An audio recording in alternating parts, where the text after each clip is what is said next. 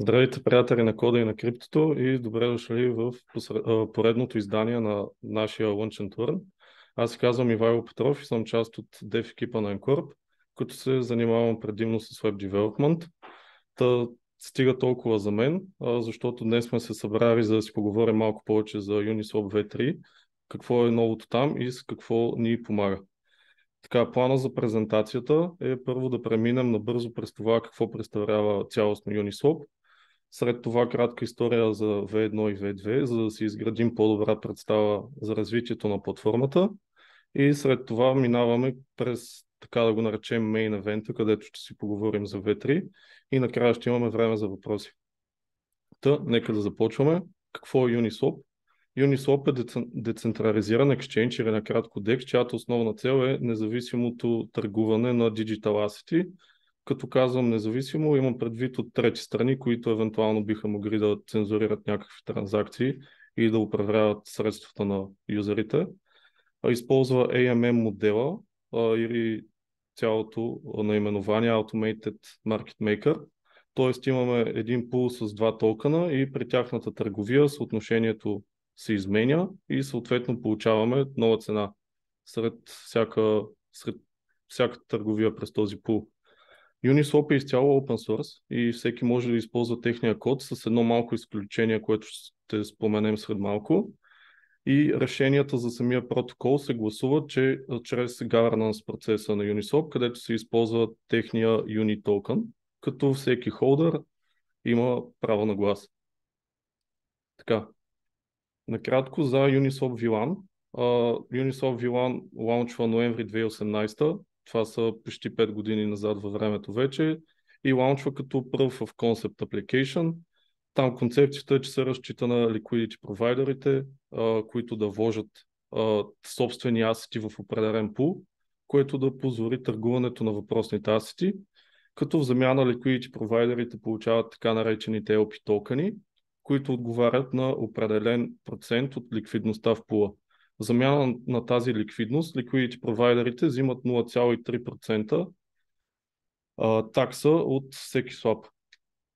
Основната лимитация на Uniswap VLAN е, че поддържа единствено Ethereum към ERC20 пулове. Тоест, ако ти искаш да слопнеш, както е в този пример, DAI към USDC, първо трябва да минеш през DAI Ethereum пула, и чак след това минаваш през USD Ethereum пула и получаваш своя USDC баланс. Решение за това идва около година и половина по-късно, през май 2020, ланчва Uniswap V2 и най-основната промяна е именно решението на Ethereum към ERC20 и лимитацията за пуловете, като се интродюсва ERC20 към ERC20 пулове. Също така са интродюснати така наречените флаш слапове, което позволява на потребителя да получи и да използва даден асет, стига да може да, възстан... да заплати за него до края на самата транзакция. Съответно, ако това не може да се случи, транзакцията ревъртва и потребителят просто ще е плащал газ физ. Това е много удобно, примерно за арбитражен трейдинг. Също така се въвеждат Price Oracle подобрения, и е добавена опцията за протокол Fee, което а, идеята е, че Uniswap могат да прибират част от таксите. В случая на V2 това е 0,05%, а останалите 0,25% от таксата си остават за liquidity провайдера, liquidity провайдерите по-точно, като инишари този протокол фи е изключен, но може да бъде активиран чрез governance vote. Тук може да видим различните опции за DAI USDC отново swap. На най-горната виждаме директен swap на DAI USDC пула, което в случая би означавало по-малко такси, понеже няма да хопваме през повече пулове. На втория може да видим swap през Ethereum пулове. Отново се минава през DAI Ethereum пула, след това USDC Ethereum пула, за да получи потребителя своите USDC токени. И последното е Custom Path. обикновено, за да се реши кое, кое от тези да се предприеме за слоп. Има клиент-сайт логика, която намира най-оптималния swap route в зависимост от цената в пуловете и таксите, които ще трябва да бъдат заплатени. Тук имаме и диаграма как протича един слоп при V2. Та потребителя иска да слопне токен А за токен Б и в случая изпраща 3 токена, от тях ще се вземе 0,3% фи и след това се смята цената, която се определя от съотношението на двата токена в пула. В случая имаме 1200 токен А в пула и 400 токен Б в пула, което означава, че цената а, на единия токен към другия в случая е 3.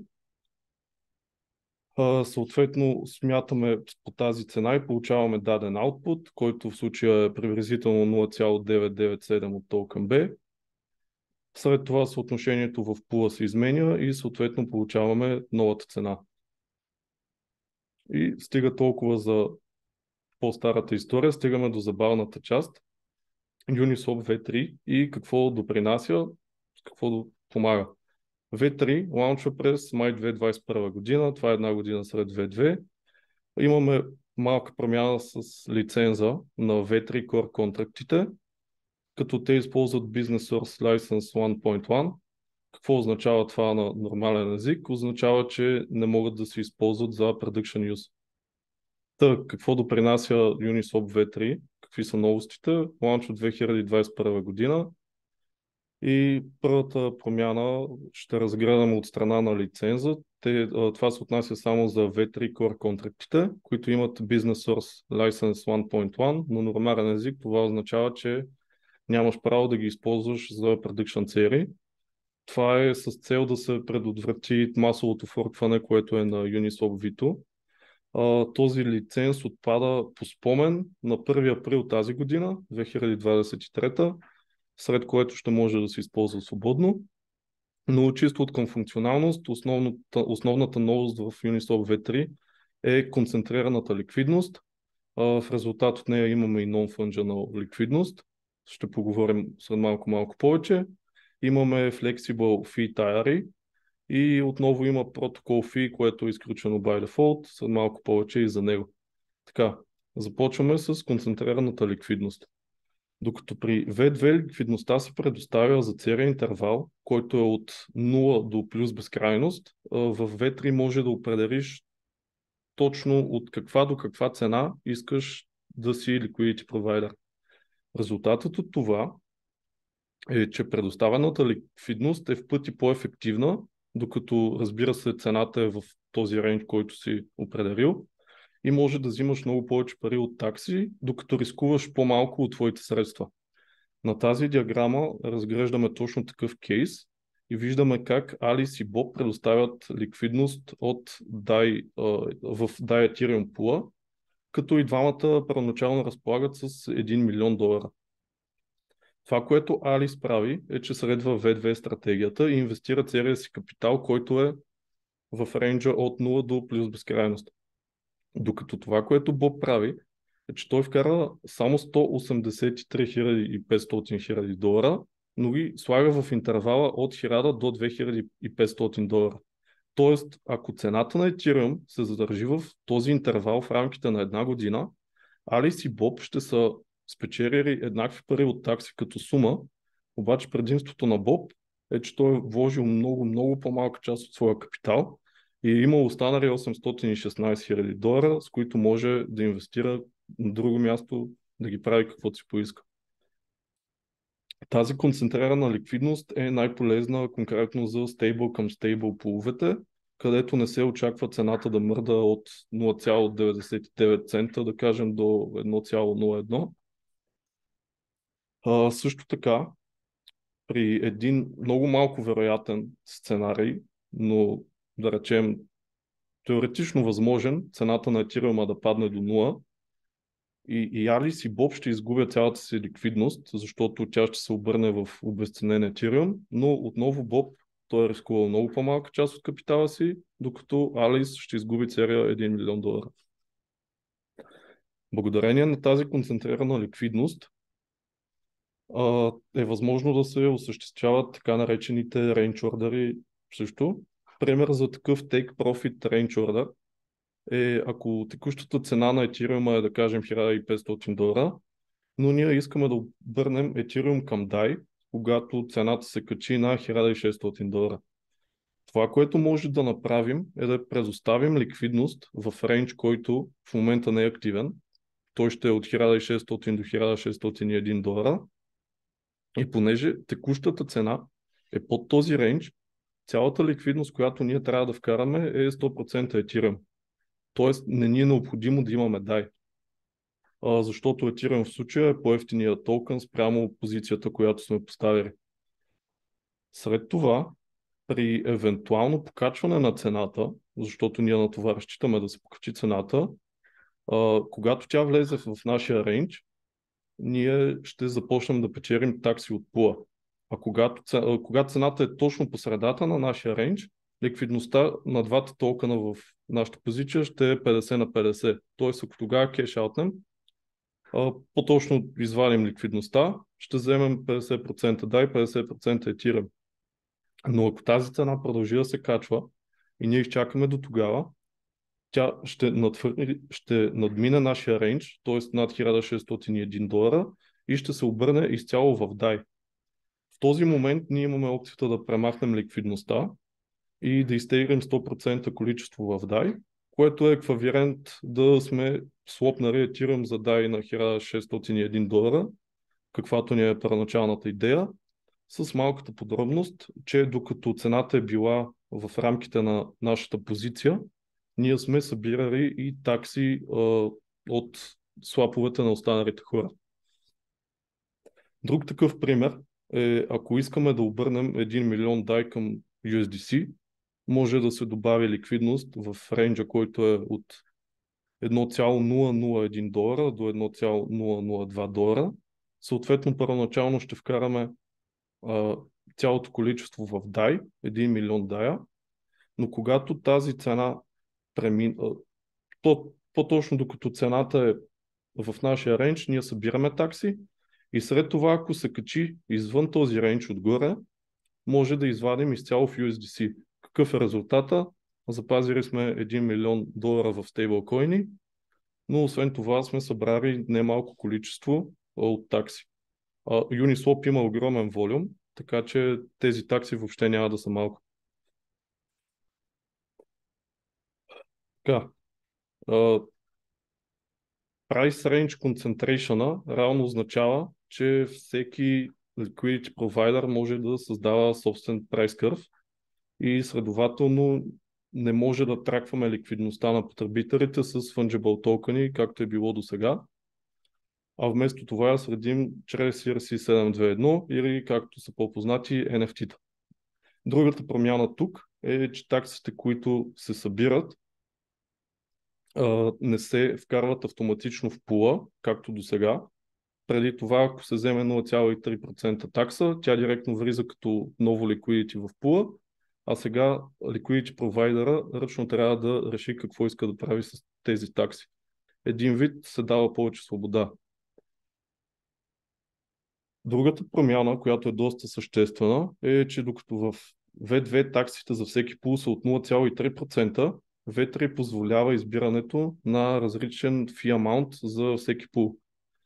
Както и може да има няколко пула за два еднакви токена, но всеки пул съответно ще има различен фитар. Initially имаме три фитара, това е чисто на контракт ниво, които са 0,05%, 0,3% и 1%. Как се избира един пул към кой фитар да е? Ами зависи на, от волатилността на въпросния пул. Тоест, ако се вкарва ликвидност в по-волатирен пул, liquidity провайдера съответно поема по-голям риск за своите асети и за това ще сетне най-големия фитар, който е от 1%. 0,3% е най-стандартният и най-често използвания. Примерно Ethereum към USDC е 0,3%, докато 0,05% се използва за стейбл полове, примерно USDT към USDC. Където не се очаква влия... движение на курса на двата токена и съответно е малък риск за liquidity провайдера. Също така могат да се въвеждат и други фитари чрез governance механизмът на Uniswap, като даже на Ethereum Mainnet Uniswap имат въведен 0,01%, което е още по-малко и отново го използват за стейблкоин половете. Протокол таксите отново са изключени по дефолт, като чрез governance отново могат да бъдат активирани, като този път могат да се активират за определен пул и могат да са в размер на 10 до 15%, 10 до 25% съжалявам, от таксите на liquidity провайдерите. Тоест, ако ти слопваш 100 дай, не говорим за 10% от тези 100 дай, а говорим за 10% от примерно 0,3%, които liquidity провайдера ще да вземе част от тях могат да идат към Uniswap, за да генерират приходи а, и те. Та, с това изчерпваме основния материал от презентацията и е време за вашите въпроси. А, аз искам да, да задам един въпрос. Това е за impermanent loss. Предполагам, че чувал какво mm-hmm. представлява и защо трябва да знаем за него, преди да почвам да провайдаме ликвидите в такива дексове. Да, а, значи impermanent loss когато провайднеш liquidity, да речем, че провайдваш а, 1000 Ethereum и колко 1000 Ethereum е много, но един е Tether и 1500 USDC.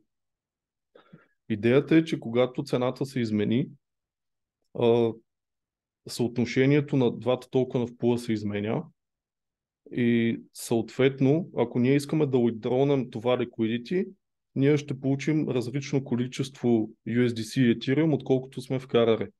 И откъде идва загубата, че ако направим сметките, как е щяло да бъде, т.е. с какви пари сме щяли да разполагаме, ако просто сме холдвали тези токени, а не сме провайдвали liquidity, понякога може да се окаже, че е било по-добра стратегия да ги холдваме. Но тук разбира се идва и друг фактор, който е таксите, които ще изкараш от провайдването на liquidity. Така че всеки един liquidity провайдер, особено за V3 има значение и рейнджа, в който ще провайдваш, сам трябва да направиш своите калкулации и да прецениш това рентабилно ли е, колко голям е риска, съответно заради този риск са въведени различните фитари. Та, не съм сигурен доколко успях да ти отговоря, така че ако съм се завъртял някъде, може да кажете.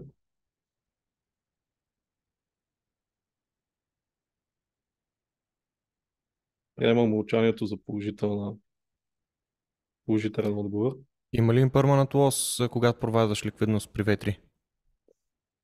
Ами impermanent loss ще има, понеже когато се търгува а, в пула, а, съотношението отново се променя а, на двата токена. Той е на, на абсолютно същия принцип а, се променя, просто при V3 а, самата цена е разделена на отделни тикове се наричат, т.е.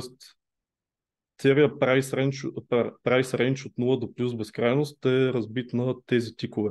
И всеки тик е по-голям с 0,01% примерно от предния.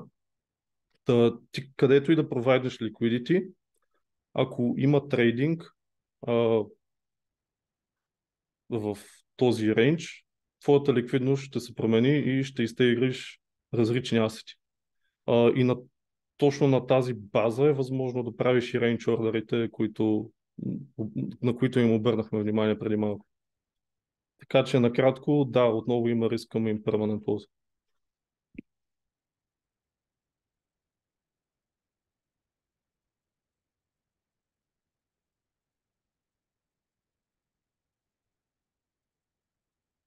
Мерси.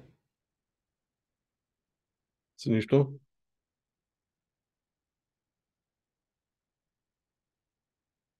Някой друг ще се престраши ли?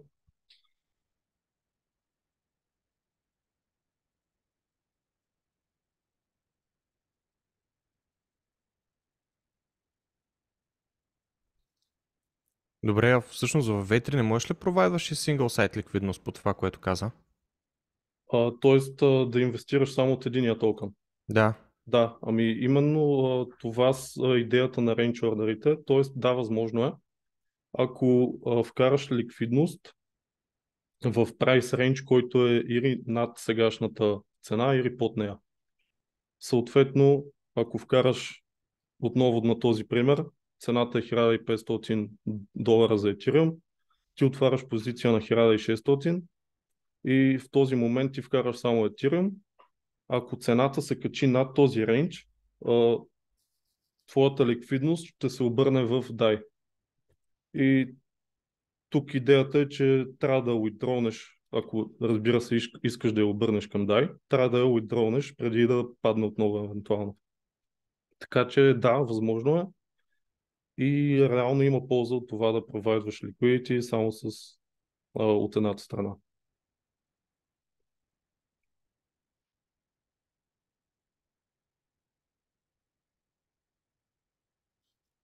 А самата комуникация с контрактите, кои, която се прави, защото при V2 е доста straightforward, при V3 реално ам, колко операции трябва да се изпълнят. Примерно аз имам в момента един портфел, искам да се направя транзакция за swap.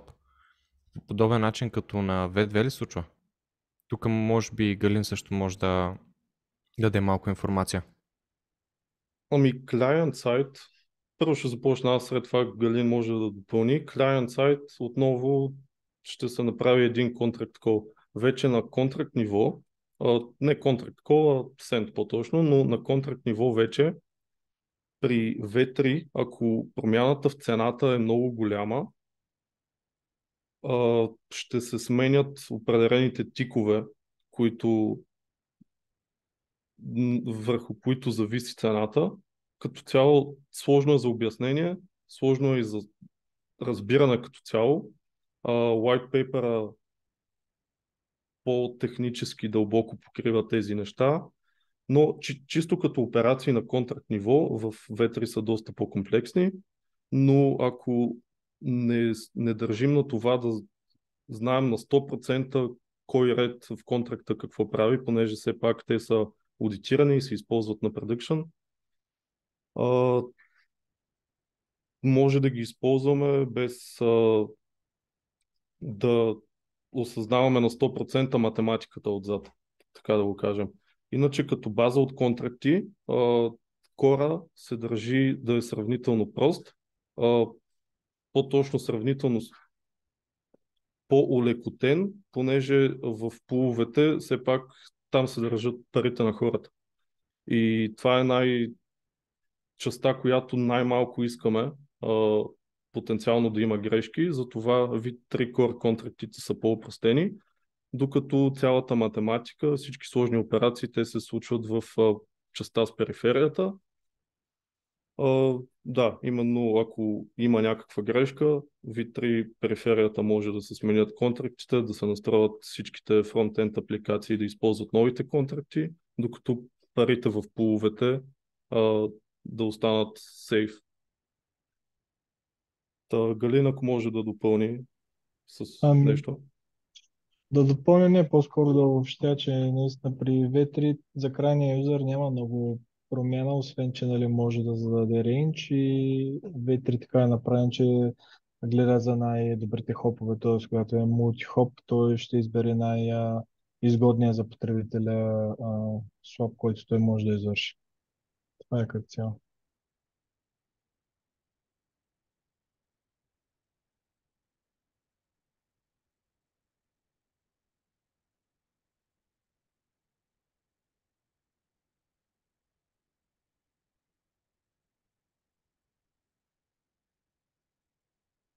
Нещо друго да допълним към презентацията?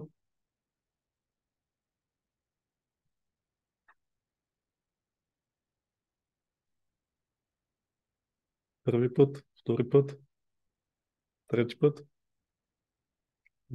Добре, в такъв случай тук слагаме край. Благодаря ви на всички за вниманието. Ако някой от YouTube зрителите иска да зададе допълнително въпрос, може да използват моя имейл адрес и ако пък искате да се свържете с компанията, може да използвате този долу в дясно, има адреса, правим хубави наргилета. може да оставите YouTube фидбек за това как може да подобрим сериите. Така че до следващия Lunch and епизод.